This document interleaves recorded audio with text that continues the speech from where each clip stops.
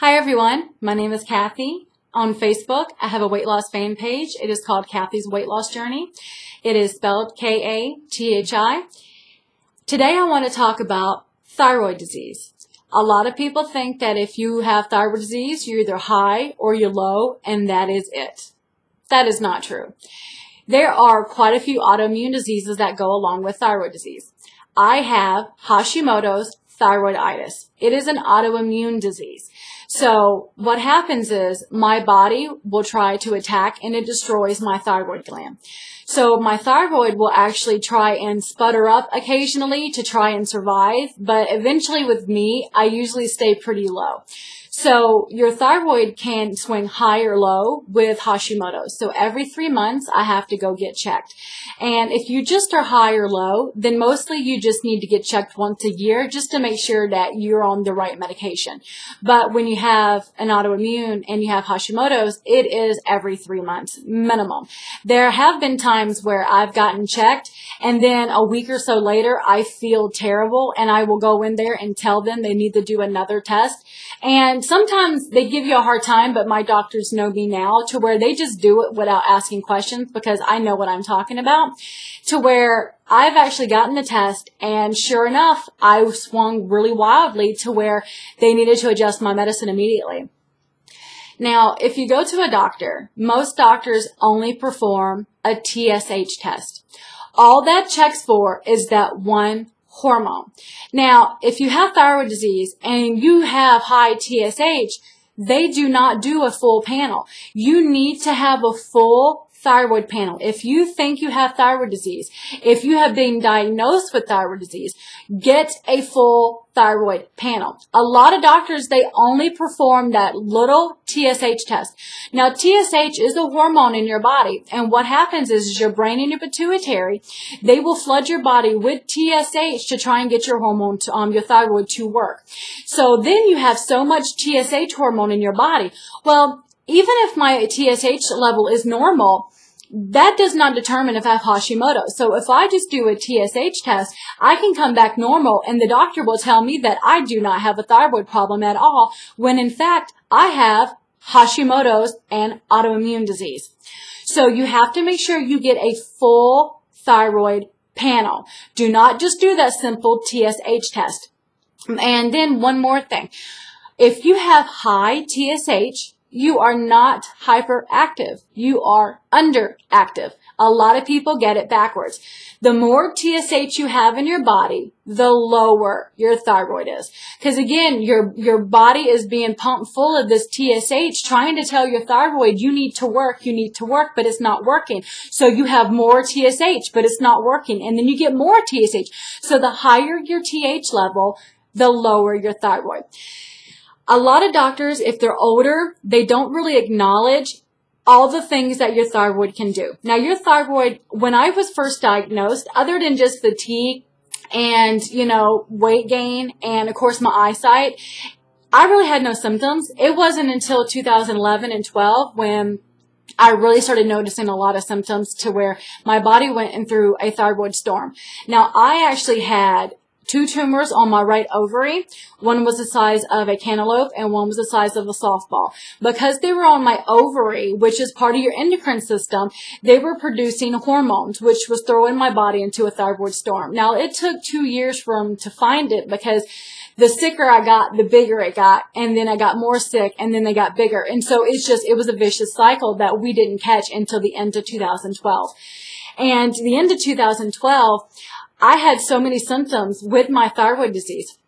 I had where, you know, it causes ADD. Um, I do have ADD. I've had it for a long time, in case you haven't noticed.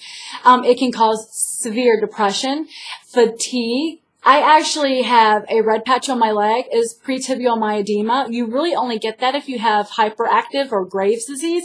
So I really shouldn't have had that and um, my leg would swell severely. And luckily now it's starting to get better. It wasn't really swell, but I do have the red patch. I now have slight eczema on my hands to where they'll crack and bleed. My hands are always cold.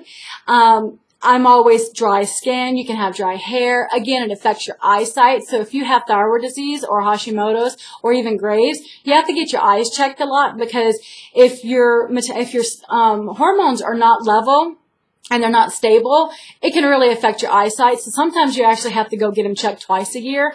And I've had that. So if you have issues with your eyes, that's why. It messes with the way your body uses oxygen. Um, when I talk a lot for a long period of time or really fast, I seem to kind of struggle with, with my breath a bit and I can't help it. So, and then it just, it messes with your heart. And now with thyroid disease, a lot of people think it's just a fat person's excuse to be fat. Oh, you have thyroid disease. Oh, it's just your excuse. That is very mean. It is hurtful and is very ignorant. Because if you honestly do not understand thyroid disease, how dare you tell me that all I have to do is take a pill and I'm cured? Because it is not that simple. Now, there are some people who do feel a lot better on medication and their symptoms do go away. That is fine. There are people like that.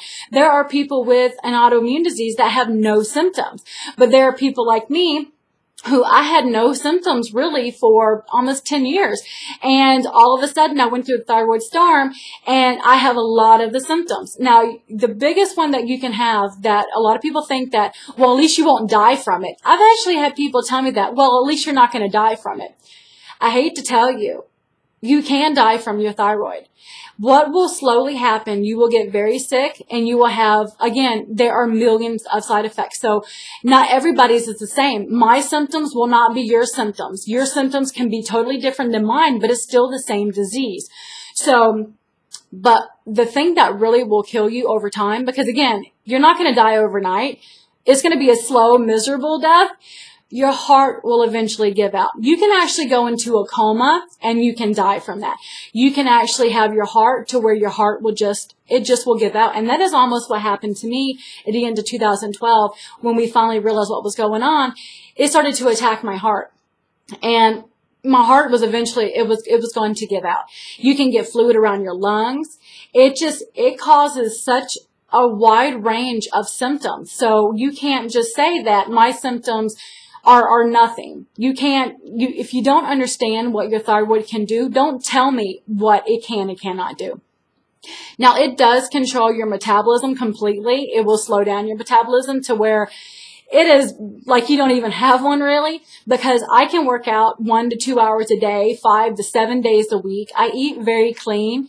You know, I'm not perfect, but you know, 80% of the time I eat very clean and I can get on the scale and not lose anything. So it is extremely frustrating. Uh, another big frustration is water weight. I can gain anywhere from five to 20 pounds of water overnight.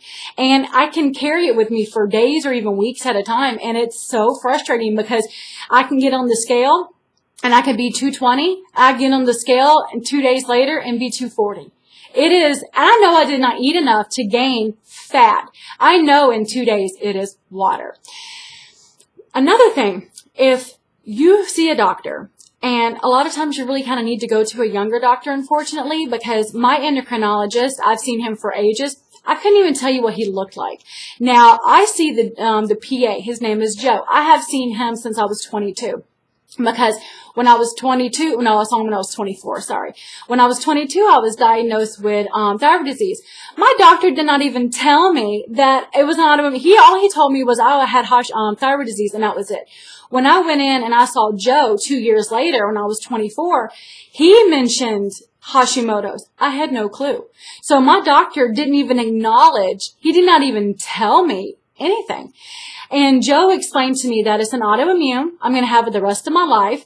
That if I ever get pregnant, I have to come see him immediately because if you have Hashimoto's and I get pregnant, if I do not see the doctor, I can miscarry. So you have to go see your doctor immediately because your body cannot support a baby. So you can have a miscarriage. So you will have it the rest of your life. Funny thing. If you look on Google, and it's very irritating to me, and you will see so many websites promoting this diet where if you eat my food and you take my supplements, you will be cured That is not right. That is not okay. You cannot cure an autoimmune disease with a diet. I can take selenium. I can take iodine because those two, it, you have to really get checked from your doctor because if you take too much of it, it can make you worse. Or if you don't have enough, you have a deficiency, that can make you worse. And a lot of the symptoms are the same if you're high or if you're low. So you need to get blood work done. But there is no diet that is going to cure me of my thyroid disease. Now, there are some foods that make it worse and there are some foods that make it better. I usually don't pay too much attention to it because I like strawberries, I like peaches, I like kale, I like cabbage, and sadly, a lot of fruits and vegetables are on the do not eat list. And I tried not eating them.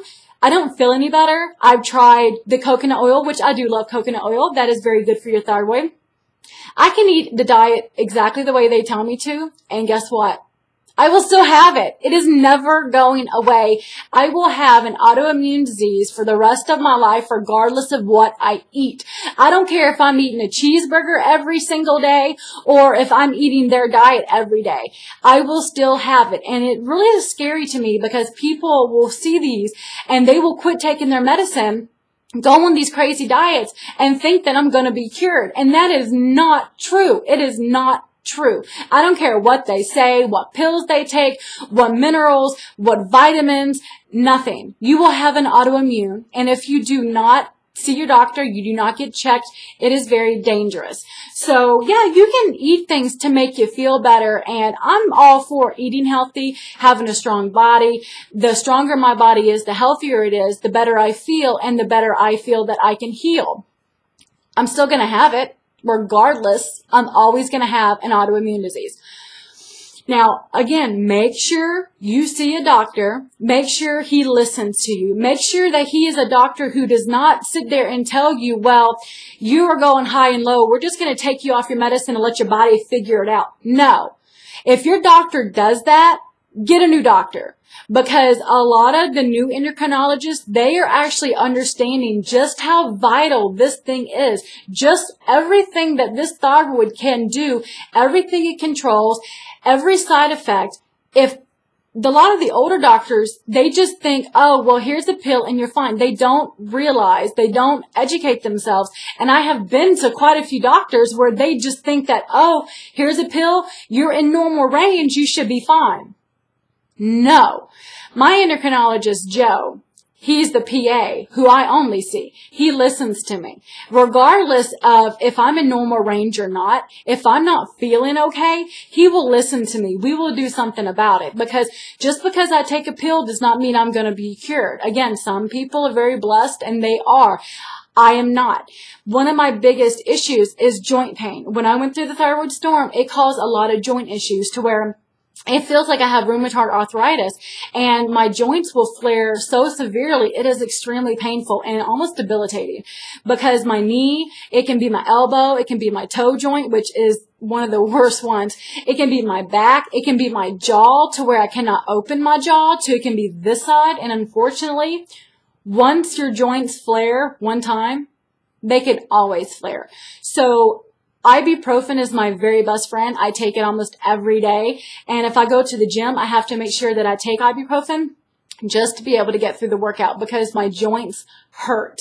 So if you get a doctor and he says, oh, well, your levels are normal, you shouldn't be going through any of this, get a new doctor because you need a doctor who actually understands that just because you're in normal range you're not going to feel perfect.